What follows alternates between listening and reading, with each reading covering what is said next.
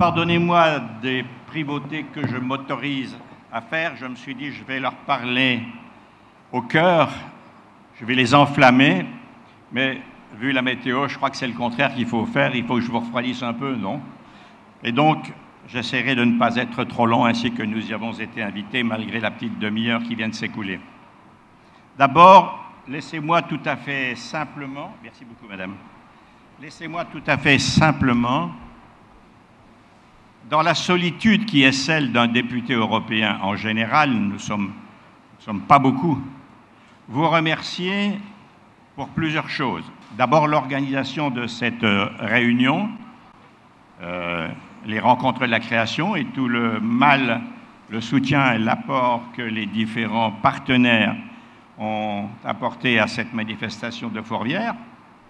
Laissez-moi vous remercier aussi et surtout pour, euh, je dirais presque l'hargne pour certains d'entre vous avec laquelle vous avez voulu manifester votre soutien à cette cause qui est si importante et qui a été très bien expliquée par les deux orateurs précédents et en particulier tout à l'heure par le président, le nouveau président de la SACEM.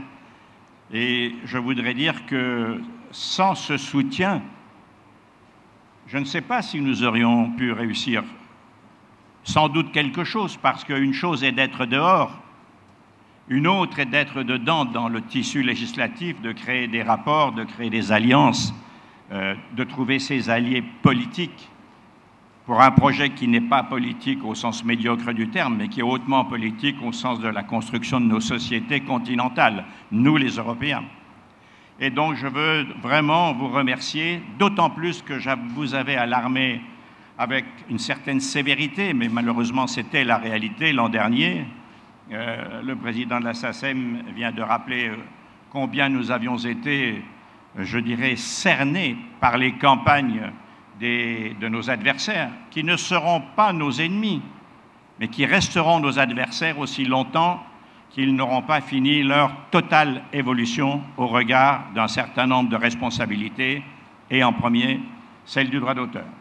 Donc vraiment, je voudrais vous remercier. J'étais beaucoup en rapport avec euh, mes amis de la SACEM, mais je voudrais, sans que, enlever le moindre mérite aux autres, et en leur, demandant mon cher Hervé, Monsieur le Président de la Société des gens de lettres, euh, Madame la Présidente de Fourvière et quelques autres amis de haut niveau, sans rien vous enlever, je voudrais dire que j'ai beaucoup apprécié dans nos rencontres régulières euh, de, travail euh, ce que vous avez pu dépouiller, ce que vous avez fait et qui nous a naturellement beaucoup éclairé. Vous savez, quand on est législateur, il y a quelque chose de terrible, c'est de faire des lois hors sol que les transpositions aussitôt démontrent. Donc je veux vous exprimer ma gratitude à vous tous et ma gratitude en particulier à mes amis de la SACEM qui sont pour quelques-uns dans la salle. Le président du conseil d'administration s'est fait euh, et le directeur général, euh, notre ami, mon ami Jean-Noël Tron, qui s'est démené comme un beau diable. Si on peut lui reprocher une chose, c'est d'avoir oublié de dormir pendant cette équipe, pendant cette épopée, et je crois qu'on peut dire la même chose pour deux ou trois personnes qui sont au premier rang ici. D'abord Héloïse, que je veux vraiment saluer avec affection. Vous transmettrez la même affection et les mêmes salutations, mon cher Jean-Noël, à David, ton secrétaire général. Et d'autre part, je voudrais saluer la représentante de, du gouvernement français à Bruxelles, à l'ARP qu'on appelle ça, c'est-à-dire la représentation permanente, qui sont nos interlocuteurs quotidiens. Quand je dis nous, c'est même pas vraiment les miens, c'était ceux de mon assistante euh, juridique et parlementaire, législative, qui est Madame Colette Boucart. J'aurais bien aimé porter ce maillot bleu euh, du copyright, mais naturellement, elle l'a piqué elle-même dans un bureau, ce qui fait que c'était ma chemise ne lui, allant pas, j'ai été obligé de céder, et c'est elle qui est au premier rang. Je sais bien que le combat n'est qu'une première étape. Vous le savez aussi. Et l'essentiel de ce que j'ai à vous dire maintenant, c'est de surtout ne pas vous démobiliser. Je vous dirai tout à l'heure quelle part j'entends prendre dans cette affaire et d'où je la prendrai. Mais d'abord, il s'agit de vous, de ceux que vous représentez, et je dirai des prochaines étapes. Une organisation à caractère européen de défense permanente, pas ponctuelle, permanente, de ce, que sont les travaux de, de vos créateurs, de vos auteurs, me semble une nécessité, parce que régulièrement reviendra sur le tapis, vous pour défendre et d'autres pour essayer de reprendre par derrière ce qu'ils ont été obligés de lâcher le 12 septembre par devant, euh, il y aura pendant un certain temps des menaces sur vos droits légitimes et surtout sur ce que ça représente du point de vue politique fondamental, c'est-à-dire, au fond, la singularité du continent européen. Et donc, je vous encourage à vous unir, toutes tendances et secteurs professionnels confondus, à rester unis et à vous fédérer dans une organisation et à essaimer davantage en Europe, et notamment dans les pays où ces notions-là notions sont assez loin, où il n'y a pas la ferveur française. Euh, je vous cite à tout l'Allemagne, l'Italie, l'Espagne, le Portugal, même si on a repéré là des organisations et des amis de bonne qualité.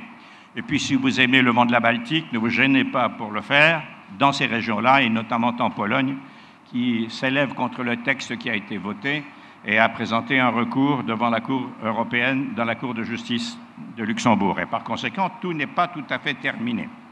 Cependant, je vous dis, montrez votre force et votre légitimité en vous unissant. Bien sûr, il y a des personnalités, bien sûr, il y a des singularités professionnelles, mais vous savez, on ne perd que les combats que l'on n'entreprend pas. Et pour les gagner, nos adversaires spéculent sur la diversion, sur avantager tel petit secteur par rapport à tel autre qui leur coûterait trop cher. Car parlons un peu franc, et euh, je te suis très reconnaissant, Jean-Noël, et j'espère que tu vas poursuivre longtemps ton travail, d'avoir réussi à vous mettre d'accord tous ensemble sous ta houlette, d'abord, me semble-t-il, pour euh, essayer de défendre une doctrine qui dépassait les intérêts professionnels de vos organisations. Et votre grand talent, votre grande, euh, je dirais, respectabilité, celle qu'à mes yeux vous avez acquise, elle vient de là.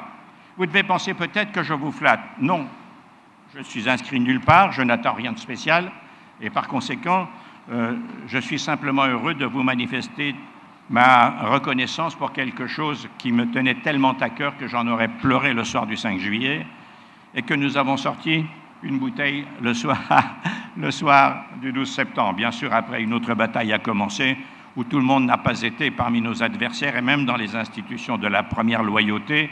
Mais grosso modo, nous avons obtenu absolument l'essentiel de ce que nous voulions défendre, c'est-à-dire que vous ayez tous en main un instrument juridique pour traduire les malfaisants quand ils sont malfaisants devant les tribunaux afin qu'ils payent. On a parlé de liberté, il n'était pas question de liberté. On a parlé de censure, il n'était pas question de censure. On a parlé de vouloir empêcher les internautes de travailler librement, il n'en était naturellement pas question. De quoi s'agissait-il? De partager un revenu qui se nourrit largement des travaux de ceux que vous représentez. Par conséquent, il n'y a pas de discussion possible. C'est une question fondamentale de loyauté vis-à-vis -vis du commerce lui-même n'importe quel distributeur paye ses fournisseurs, pas eux. Vous m'avez entendu peut-être l'an dernier, pour ceux d'entre vous qui étaient là, parler de la suite de cette lutte, les fameuses trois responsabilités que j'ai, euh, je vais dire, euh, un peu réfléchi et élaborées il y a presque maintenant une dizaine d'années. La première, c'est la responsabilité que nous venons de gagner, éditoriale. Il est entendu maintenant qu'on doit payer ce que l'on prend à un auteur, qu'il s'agisse d'auteurs dans le journalisme qu'il s'agisse d'auteurs dans le monde de la création artistique. Une fois pour toutes. Bien entendu, faisons attention. Ceci n'est pas une donnée permanente, elle n'est pas infranchissable, et il y aura beaucoup d'actions pour essayer de rattraper par derrière, comme je l'ai dit tout à l'heure, ce qu'ils ont été obligés de lâcher par devant. La responsabilité éditoriale, elle est maintenant établie. Vos avocats auront une base juridique pour se battre et défendre ce que vous représentez. La deuxième responsabilité, elle est sécuritaire. Mais avant de venir à la deuxième, je voudrais vous dire que pour moi, je considérerais que la bataille doit continuer aussi longtemps, aussi longtemps, que les agrégateurs, les plateformes, notamment de communication publique, n'auront pas en Europe l'obligation d'avoir le statut de média, avec la responsabilité financière vis-à-vis -vis de ses fournisseurs, avec la responsabilité juridique, c'est-à-dire traiter au fond d'une certaine manière par ce biais du statut de média, traiter les fausses nouvelles, vous en avez parlé tout à l'heure, traiter tout ce qui est interdit par la loi sur euh, le continent européen du fait des directives européennes, c'est-à-dire tout ce qui est ségrégatif, tout ce qui est le négationnisme, tout ce qui est la porno, la pédopornographie, tout ce qui est, bref, interdit par les lois, les discriminations et toutes ces choses qui font un commerce dont se nourrissent la plupart des plateformes qui font de la communication grand public. Alors il y a quelque chose d'un peu nouveau.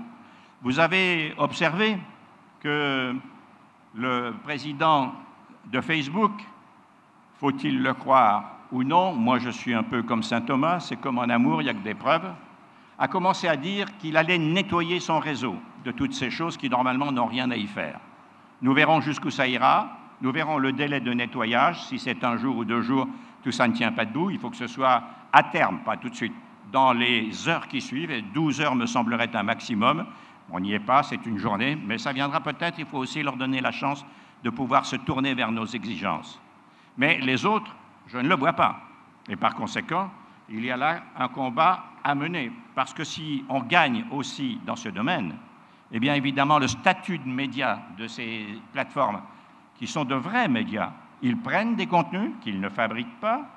Il n'y a pas un journaliste, il n'y a pas un musicien, ni dans Facebook, ni dans Google, ni dans YouTube, ni dans Wikipédia, qui d'ailleurs n'est pas concerné par le texte, malgré ce que cette société euh, prétendait le 3 et 4 juillet 2018.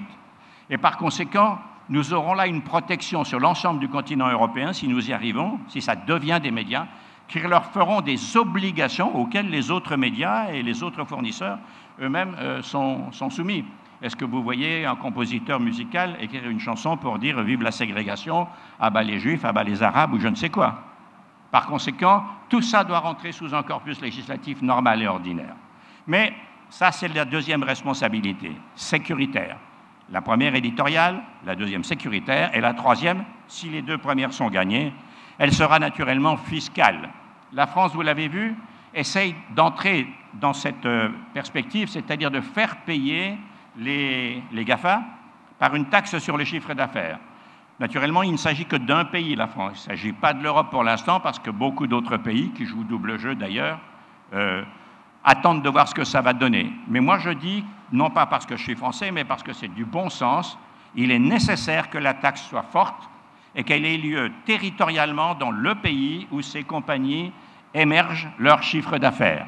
Ce serait le seul commerce où on pourrait gagner de l'argent, l'identifier et ne pas payer ses impôts là où on utilise des infrastructures, par exemple, et là où sont vos consommateurs. Donc, en effet, la bataille, vous voyez bien, elle va être longue, elle va être forte, puisqu'en fait, de quoi s'agit-il?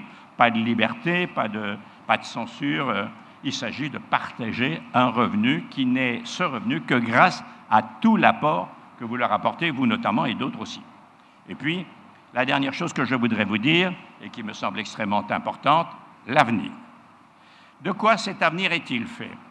Eh bien, chers amis, vous avez été d'une certaine manière, par la manifestation de vos souhaits et de vos exigences, des pionniers. Car ce que vous avez fait il va devoir être fait dans plusieurs secteurs de l'économie. On le voit bien. Il va devoir être fait dans l'industrie agroalimentaire. Les supermarchés sont menacés actuellement, et les hyper sont menacés actuellement par les détenteurs des algorithmes du numérique. Vous avez entendu dire il y a deux jours que le PDG de Carrefour allait replier ses goals, si je puis dire, en Chine et avait fait un accord de vente de ces dizaines, de plusieurs dizaines d'hypermarchés qu'il détenait sur le territoire chinois. Pourquoi? Parce qu'en Chine, là j'y étais il y a un mois, c'est assez frappant, les gens ne vont pas dans les hypermarchés, ou en tout cas très peu, ou pour des choses particulières, tout le reste se fait par commande numérique. Donc on est en train d'enjamber le distributeur qu'est l'hypermarché. Et si euh, une grande compagnie numérique l'an dernier a fait un accord et a racheté euh, Food, le deuxième euh, groupe agroalimentaire américain derrière Walmart.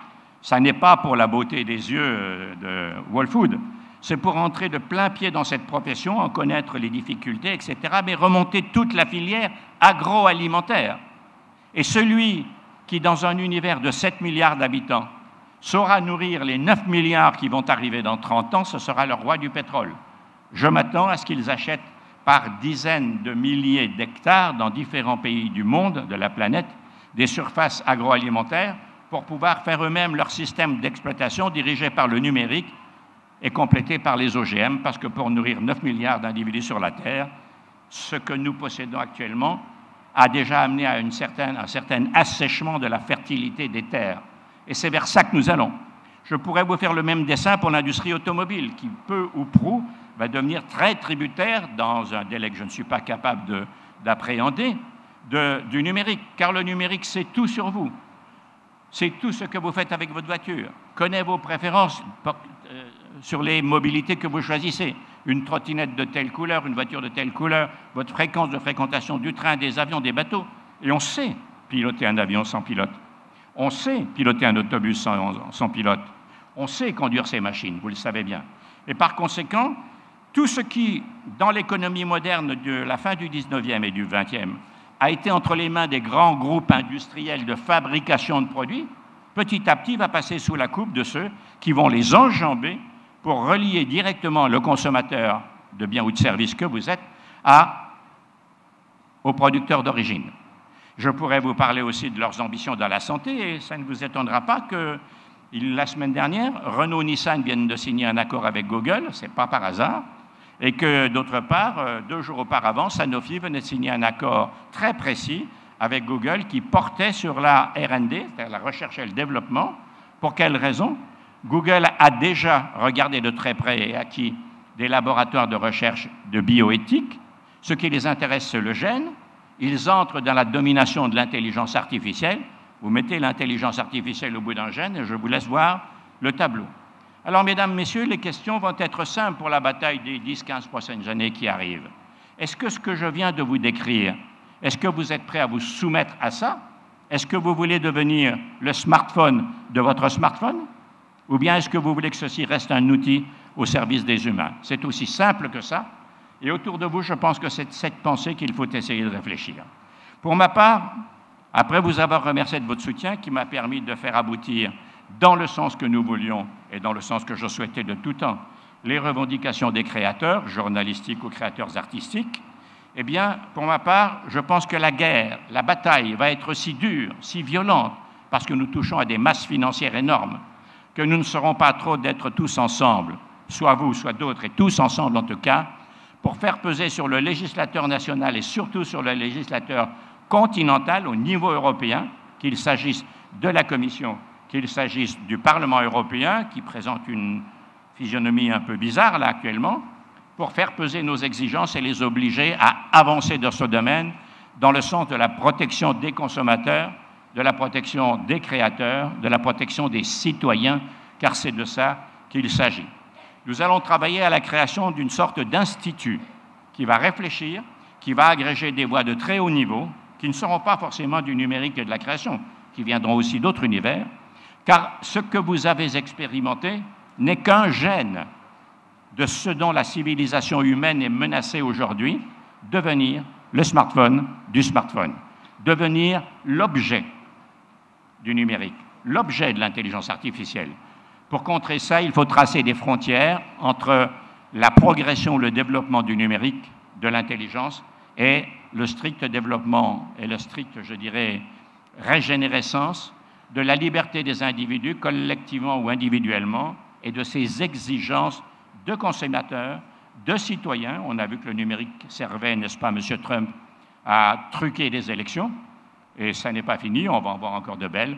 Et vous voyez bien, chers amis, que le moment est venu dans tous les domaines, à plus forte raison le vôtre, mais dans tous les domaines pour lesquels vous avez depuis maintenant presque deux ans acquis une expérience en face du numérique presque unique, le moment est venu de vous lever pour faire entendre autour de vous et devant vous, devant le législateur, vos exigences. Pour ma part, de là où je serai, je le ferai savoir en automne, je serai à nouveau à votre disposition pour continuer ce combat, ce combat qui, à mes yeux, ne fait que commencer. Alors pour terminer, puisqu'on est dans un monde de création, notamment musicale, laissez-moi dire deux choses.